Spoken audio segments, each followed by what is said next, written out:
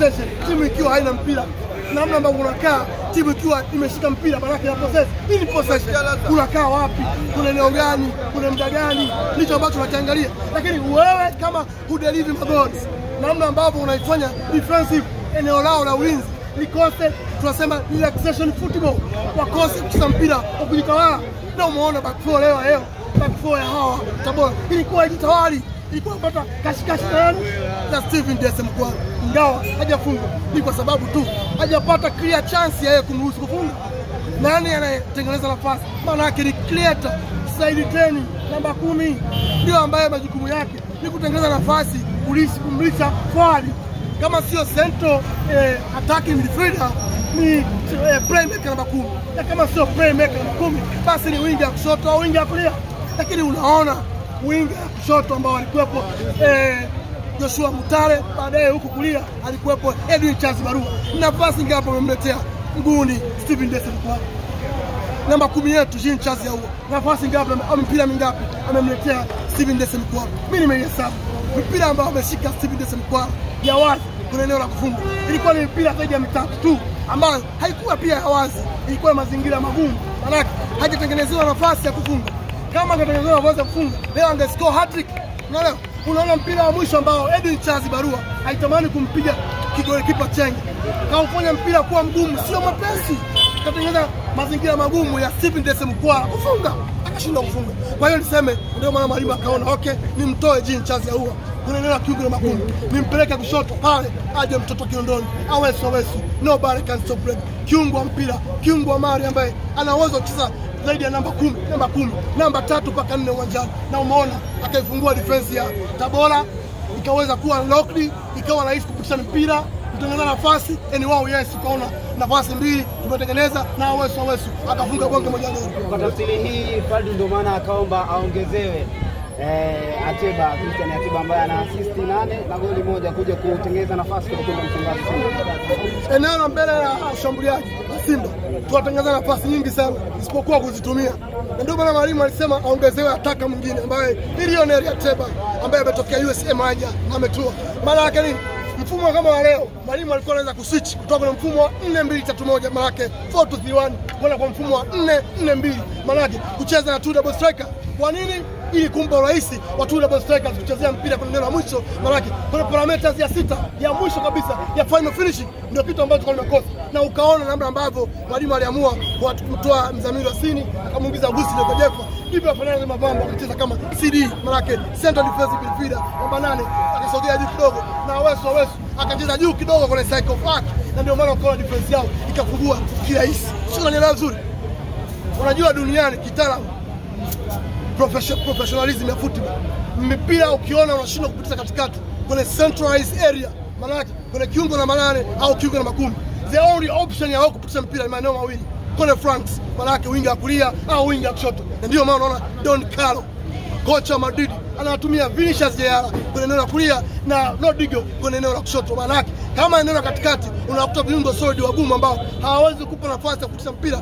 Eneo pekee ambalo unaweza kupita mpira na kuifungua defense ni eneo la wide la flanks wide ya kushoto na kulia, na ndio maana unaona mwalimu akamwingiza Kibu Dennis nobody can stop break kwenye eneo la kushoto ili iwe rahisi kukimbia na mpira, kufanya dribbling with speed with anticipation kwenye eneo la kushoto kwa ajili ya kuifungua defense na hatimaye kurahisisha majukumu ya namba kumi na namba tisa.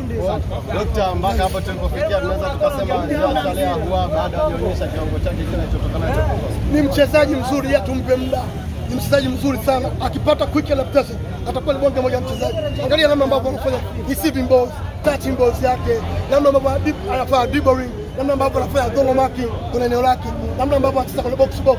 Wakati mwingine anacheza kama deep, anashuka kwenye eneo la chini, anasahau kama ni kiungo mshambuliaji. Mimi ambacho naweza kuzungumza, ni mchezaji mzuri, ana work rate nzuri, footwork, ball brain, ball, ball, ball technical, ball balance, ball control, isipokuwa tu ile fastness and reaction bado hajaadapti na mfumo wa mbele. Kwa hiyo walimu ambao tunataka kufanya kwenye eneo la la, la uwanja maana training ground, namna ambavyo anaweza kufanya internet ya namba nane kumi pamoja na namba tisa ili kuwa kuna deliverance positive kwenye eneo la mwisho, hatimaye tupate magoli mengi as, as much as we can.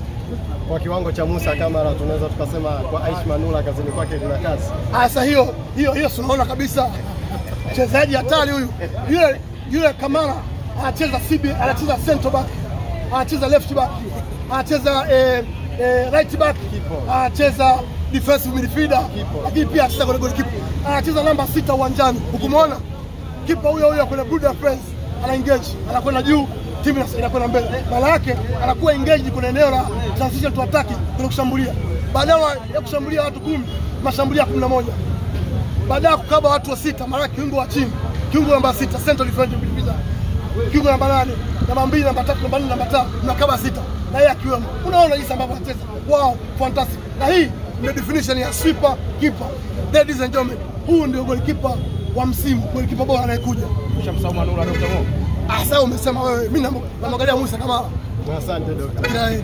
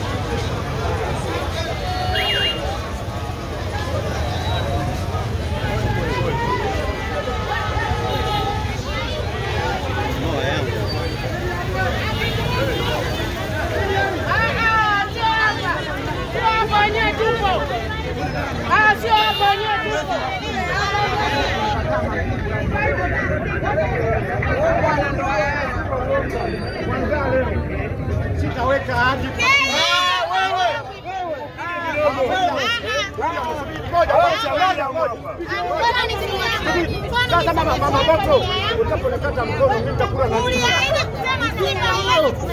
Wakakwambia Simba itafunga tena goli tatu. Nikaweka ushahidi lazima kwamba